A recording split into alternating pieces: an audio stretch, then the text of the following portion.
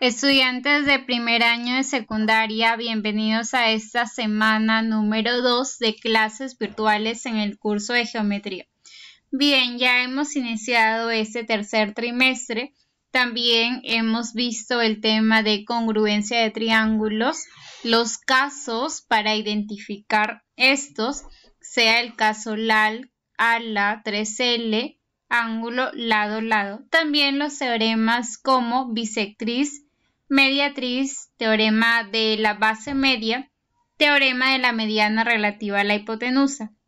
Estos que ya hemos trabajado en líneas notables, sea una mediatriz, una bisectriz, una mediana y tienen una función en específico en cada uno de los triángulos, pero ahora lo aplicaremos en los teoremas. Bien, el día de hoy reforzaré algunos ejercicios en la que aplicaré ello. Empecemos. Primer ejercicio nos piden calcular x si AB es igual a 6, h es 2. Ubicamos los datos en la gráfica. AB 6, AH es 2.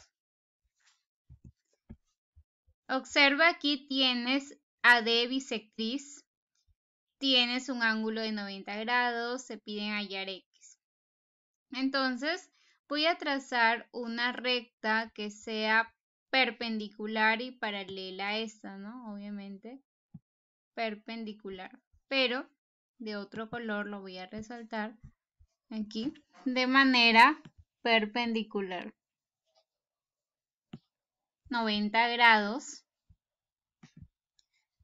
Ya aquí está. Entonces ya podemos aplicar el teorema de la bisectriz, ¿no? ¿En qué consiste? Me dice que las distancias, las distancias BD y en este caso de E le voy a asignar un punto E, son congruentes, ¿no? Por teorema de bisectriz. Aquí un punto E.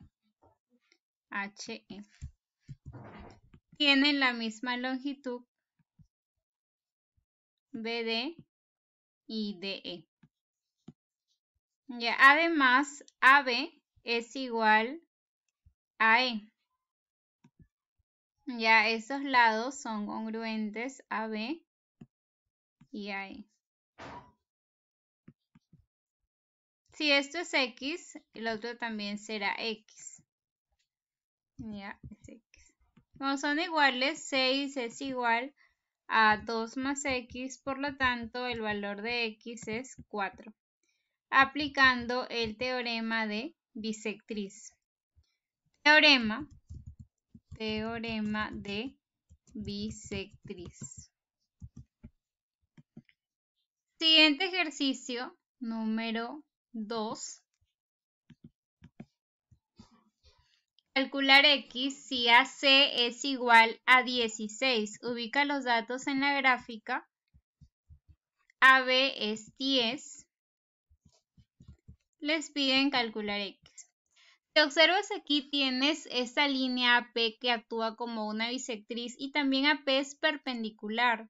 Entonces recordamos los teoremas. El teorema de la mediatriz, ya en un triángulo,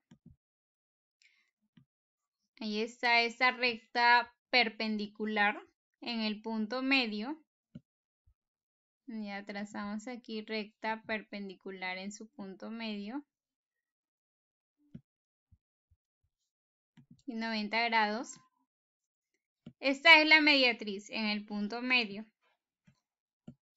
Forma triángulos isósceles. Quiere decir que estos son iguales alfa y alfa. Como es un triángulo rectángulo, alfa, asignamos beta, alfa más beta es 90, aquí también será beta, alfa más beta 90. Entonces, esta es una bisectriz. Bisectriz y perpendicular es el teorema de la mediatriz. Teorema de la mediatriz. Voy a prolongar BP, ya lo vamos Vamos a extender esta línea hacia hasta AC. Ya más o menos allí. Y aplicamos teorema de la mediatriz. Se ubica en el punto medio. Estos son iguales y además forma un triángulo isósceles que AB de tal manera que AB será igual a este lado, ¿no? AB es igual a este. Voy a asignarle un punto E, ya aquí. Un punto E. Entonces, AB es igual a E. Esto sería 10. Ya, y la diferencia, como todo es 16, S es 6. Ya voy a colocar aquí que todo esto mide 16. Ahí está. En el triángulo BC observa que tienes PQ que está uniendo el punto medio. ¿Ya? Voy a subrayar el triángulo este BCE de color verde. Ya vamos a subrayar y vamos a aplicar el teorema de los puntos medios, ¿no? Teorema de la base media. Sería teorema de base media. Teorema de base media. ¿Cómo se calcula la base media? X es la mitad de... Ya, es, es la mitad de su base paralela a S. Entonces la respuesta es 3 aplicando teorema de mediatriz y teorema de base media o los puntos medios. Ahí está. Muy bien, continuamos con el siguiente ejercicio, número 3. Calcular X. Aquí me dan el triángulo, rectángulos, ¿no? Ahí está. Me dan que la hipotenusa y el ángulo son congruentes. Entonces aquí voy a subrayar mis triángulos donde aplicaré la congruencia. Ya en este, este triángulo, y ahí está que tiene la hipotenusa igual a este otro triángulo CDE. Ya ahí está.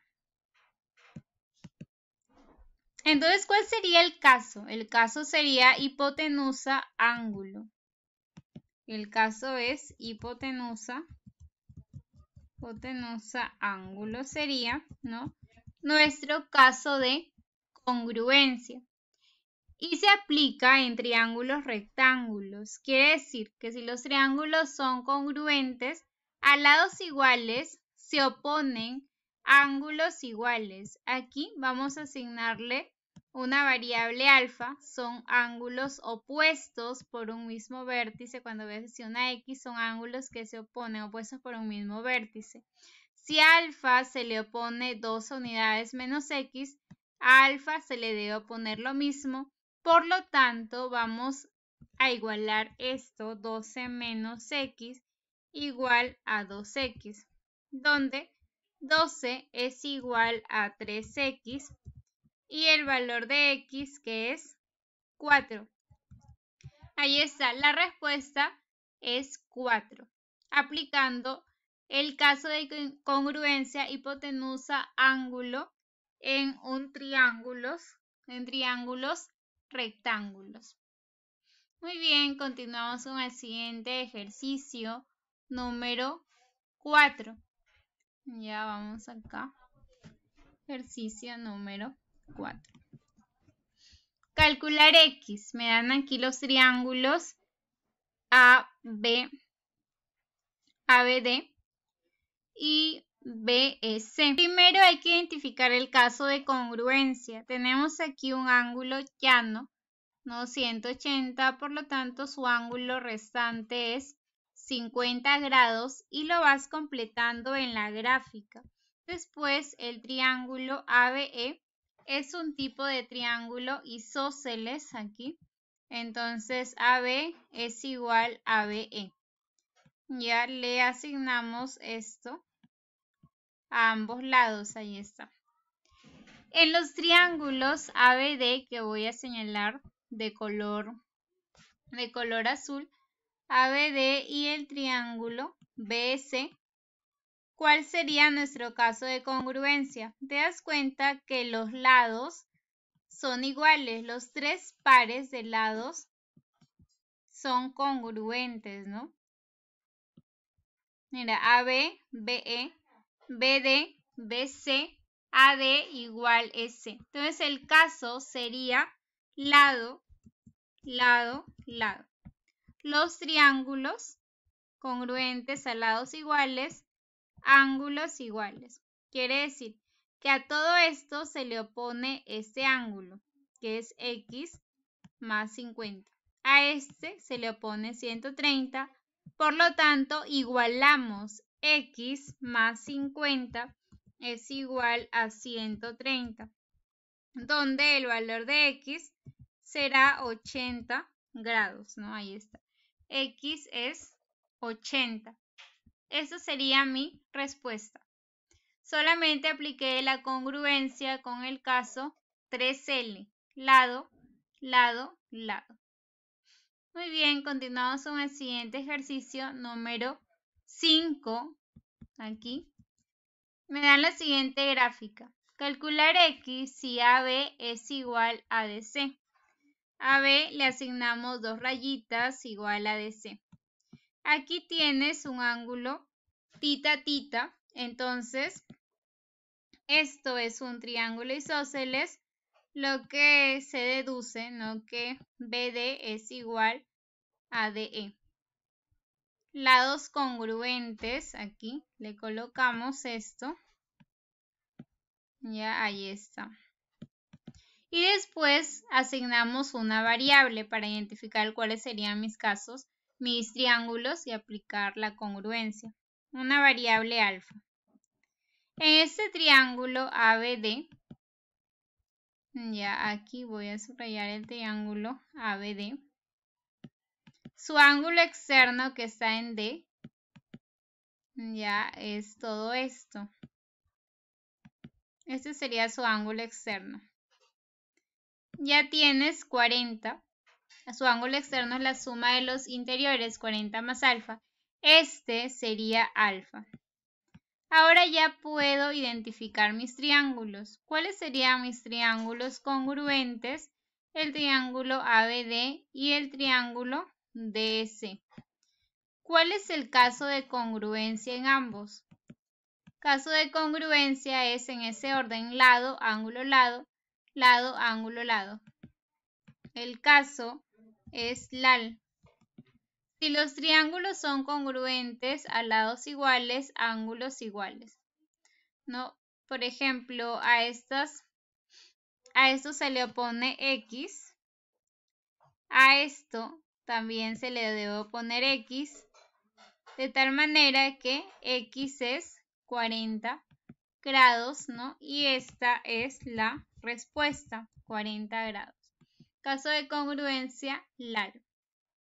Continuamos con el siguiente ejercicio número 6.